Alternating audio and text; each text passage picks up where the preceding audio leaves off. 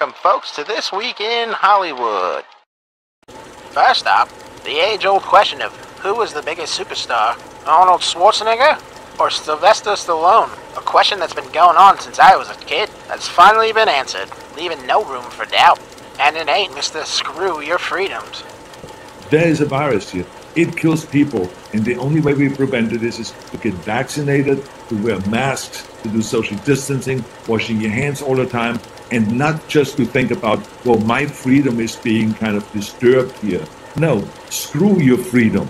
Now that Kamala is lost, Honor wants you to forget about the things he's done in the past and who he supported. So now he's all in on the troops. Forget about politics. The huge megastar and son of a Nazi wants you to know he cares about our troops. Just forget about the whole screw your freedoms and who's been in charge the last four years taking things away from our troops. Kind of so shameful in a way that we have treated our veterans in such a bad way. It doesn't matter if it's Democratic administration or Republican administration in Washington.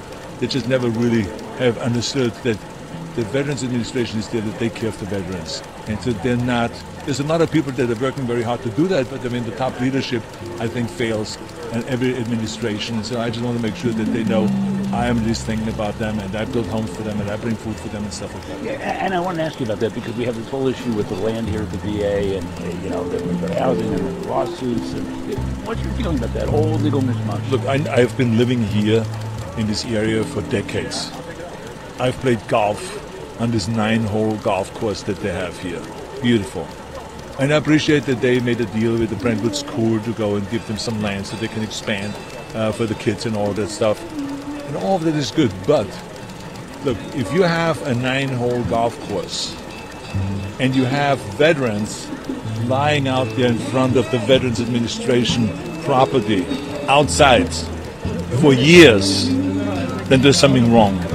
So I think that it is better for them to just use this property in a wise way and to make this kind of like a, uh, if it is a transitional period or the, uh, you know, the main uh, buildings, to provide housing for them in here and healthcare and medical care, everything to provide them with the stuff to show our respect for them and all this stuff. So this is, I think, what it is. So they should use this property for housing and for taking care of the veterans. And then the lawsuits and all that delay all of that. Well, yeah, of course, look, if there is good leadership in Washington, we wouldn't have this fight. They would just say, okay, we're going to build housing there because it's their property. So it's that simple. So I mean, it's like the locals get involved, and the state gets involved, the federal government gets involved, they're fighting back, and it's all of this stuff. It is a shame. So what I'm saying is just that let's move forward with this whole thing, and let's do it. So there you have it, folks. Arnold is tired of homeless veterans getting away of his golf game, even though his candidate that he endorsed had four years to take care of this problem. Let's stop playing politics and just get it done. sure. Well, Rocky Balboa is about to show you why he's got a statue in the middle of Philadelphia.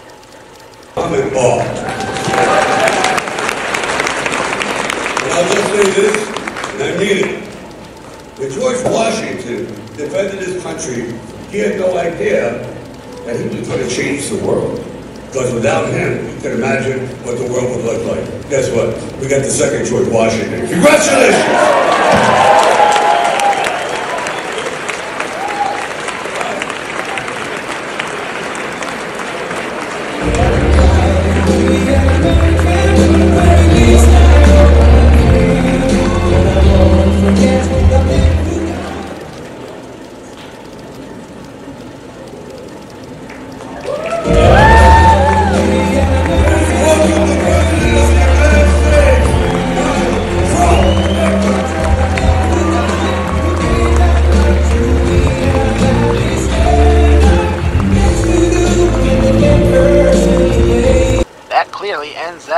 That. Speaking of Trump, even though Hollywood's melting down over his presidency, how's middle America reacting?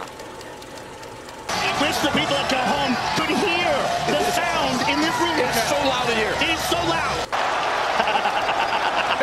he did the Trump dance. Ah, he did the Trump dance. Trump dance. Holy smokes, I didn't see that coming.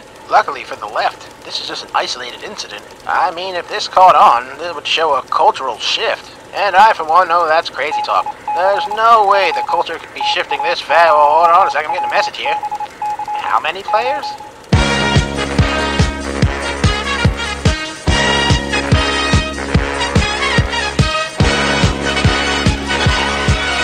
Wowzers, that's a lot of Trump dancing. But not everyone is having a good time right now. that I, would like to reframe the conversation. I think Bernie Sanders is wrong. I think the more relevant question actually is what is wrong with America? I think um, what is wrong with our country that the Republican Party would choose as a candidate and support a candidate who is an insurrectionist, who is an election denier, who is someone who is twice impeached, a 34 time convicted felon, um, someone who has been accused of alleged sexual misconduct by 26 women uh, found liable for sexual abuse. Uh, what is wrong with this country that they would choose a message of divisiveness, of xenophobia, of racism, of misogyny over a message of inclusiveness, a message for the people, by the people, um, of the people. That's what the problem is. It's the Republican the Party. But can I, and I, what's can wrong I with say America? something before we can do the second? Holy Toledo. I thought her rant on blaming dumb white people for the election was bad. She decided to one-up herself. Well, I think everything she says is a blatant lie, and I find her overall demeanor unpleasant. But you gotta respect somebody with this kind of conviction. Hold on a second. She did what?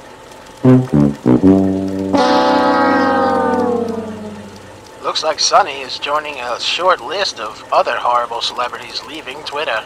Or X. Truly the cream of the crop of who gives a darn. Bye, Jamie Lee Curtis. And take your weird child art with you. Hopefully to prison. But speaking of The View and former cast members, former fat, co- I mean co-host of The View, Rosie O'Donnell, made some pretty unforgivable remarks about the current president's son.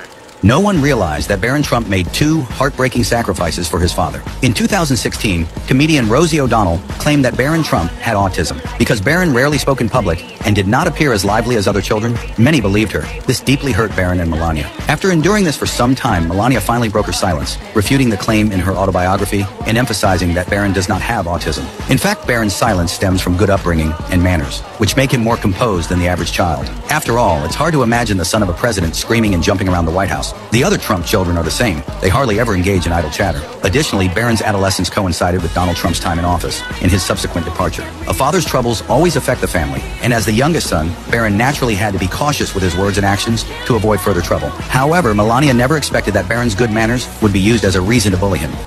You hate to see it, folks. Picking on a kid because you don't like his dad. Making those kind of claims, you must be an expert in parenting. Let's see how Rosie handles her kids. I have five children, and my youngest is a non-binary, beautiful human who told me first that her stuffies, their stuffies, were non-binary. And a year later told me, you know what I told you about my stuffies? I said, yeah. She said, they said, that's me too. And I said, welcome aboard, honey.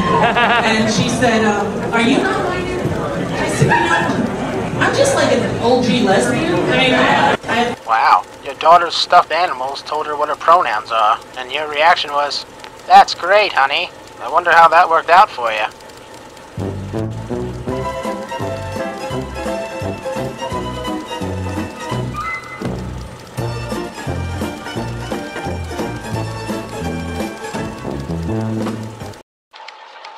Wow, crazy stuff.